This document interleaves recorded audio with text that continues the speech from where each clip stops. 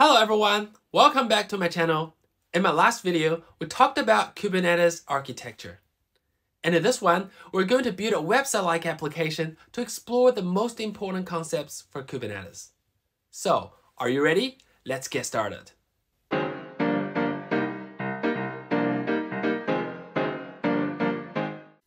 Before we start, we need to have a Kubernetes cluster and command line tool to interact with the cluster.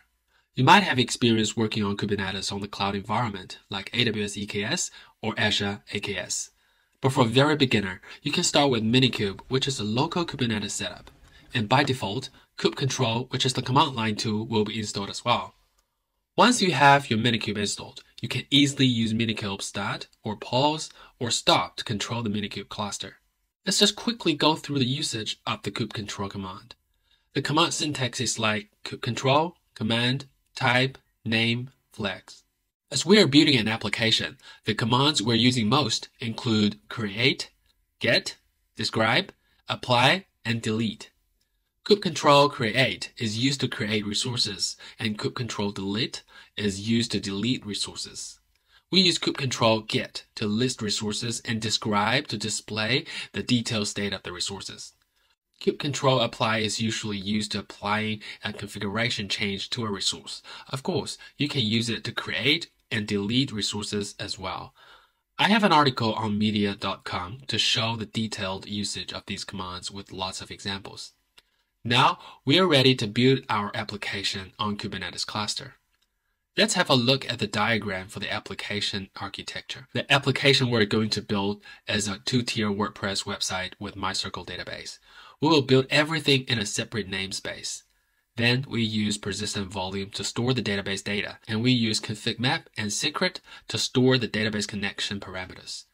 Then we build pods for MySQL database and WordPress applications, and we build services to expose these pods. Just a note here, we're going to create resources via YAML configuration file instead of standard input. Namespace. Namespace is like a separate virtual cluster within a single Kubernetes cluster.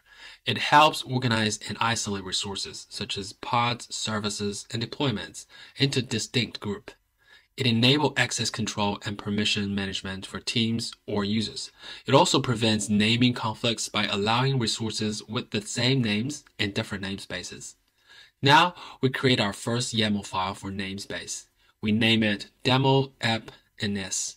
Then we run kubectl create commands with pointing to the YAML file.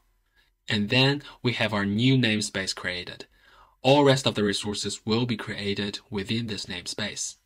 Next, we need to create a persistent volume. There are concepts we need to understand first. Storage class. Storage class allows you to define different types or classes of storage provisions based on your specific requirements. Each storage class has a provisioner that determines what volume plugin is used for provisioning persistent volumes. You can use storage class to provision cloud-specific storage systems such as AWS EBS, Azure File, or Google Cloud Persistent Disk. For simplicity, we just use standard in our example. Persistent volume. Persistent volume is a cluster-wide storage resource provisioned by an administrator. It represents a piece of storage in the cluster, such as a physical disk, network attached storage, or a cloud storage volume. Persistent volume claim. Persistent volume claim is a request for storage. It acts as a binding mechanism between the user storage requirements and the actual persistent volume available in the cluster. In our demo, we would like to persistently retain the data in the database, which means that even if a pod or container is deleted, the data remains preserved. This is where I would utilize a persistent volume. So now we need to create a YAML file for persistent volume. We name it MySQL PV, and you can see we have namespace defined in the metadata. Also, as we explained earlier, we use data storage class for PV creation. Persistent volume supports multiple types of access mode. With read-write once, PV can be mounted as read-write by a single node or a pod running on a single node at a time. This mode is typically used for scenarios where a single pod needs exclusive read-write access to the PV, such as a database running on a single node. There are some other access modes such as read-only many, read-write many, but we're not going to explain them now. You can check them out from here. Once we have PV created, we need to create a persistent volume claim to request the storage. We create another new YAML file for the PVC and run the kubectl create command. Now let's just list the resources via kubectl get commands. We can see the new PVC is here. The next step is to create a config map to store the database name and database user, and secret to store database password. Config map is an object used to store non-sensitive configuration data that can be consumed by pods or other resources in a Kubernetes cluster. It can store key value pairs or hold entire configuration files as data. Secret is an object used to store sensitive or confidential information, such as passwords, API keys, and TLS certificates. It is encoded or encrypted to maintain their confidentiality. So secrets are similar to config maps, but are specifically intended to hold confidential data. Then we created another YAML file with config map and secret resource. We store database name here as demodb, database user as dbuser, Remember, we need namespace defined in metadata. Then we add database passwords in the secret resource. We cannot store the password in plain text. Instead, we need to save them as base64 encoded. Our password is my secret password, so we need to run command echo-n my secret password pipe base64. Now you can copy this value in the YAML file for the secret value. Let's create the config map and secret using kubectl create command. See the two resources are created. We can describe the secret resource and obviously we can't read the value directly. But if we describe the config map, we can see the values in the configuration. Now we're ready to create our database pod. This time we use deployment. So what is deployment in Kubernetes? A deployment is a high-level object that provides a declarative way to manage and scale a set of identical pods. It ensures that the desired number of replicas of an application are running and provides mechanism for rolling updates and rollbacks. Within a deployment, a pod template needs to be created, which includes container image, resource requirements, environment variables, etc. A replica set is also defined which maintains a set of identical replicas of pods defined in the template. Deployments enable your application with self-healing capabilities. It can perform health check on pods to ensure they're running correctly. If a pod fails the health check, the deployment controller automatically restarts or replaces the pod to maintain the desired replica count. Now, let's create a YAML file for the database deployment. I'll name it MySQL and set the namespace demo app NS. For the specs, I will set the replica value, which is 1, as we only need one pod for database. You will see we set the replica as 2 for the WordPress application deployment in the following part. Regarding the container templates, we need to use MySQL latest as the image, and for resource requirements, you could see limits and requests. So what are the differences? The request section specifies that the container requires at least 512 meg of memory and 0.5 CPU as the minimum amount of resources that the container needs to run properly.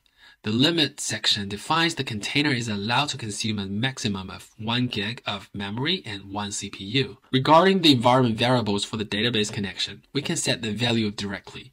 Or in the example, we use value from to retrieve the data from config map and secret we created.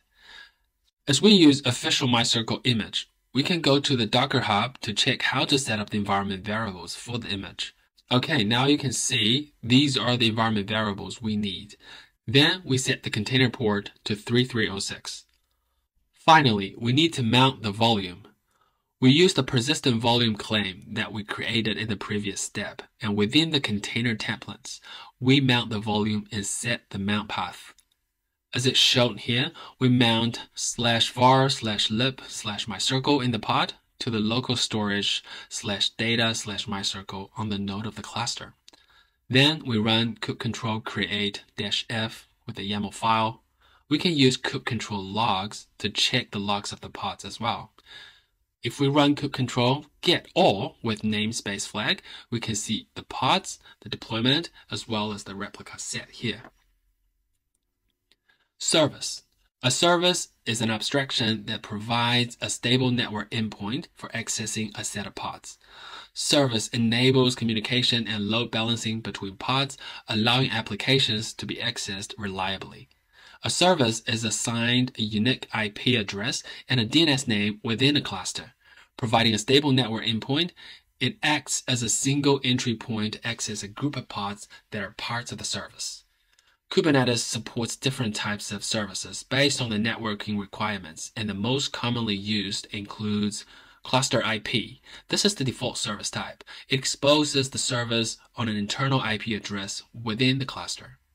Node port.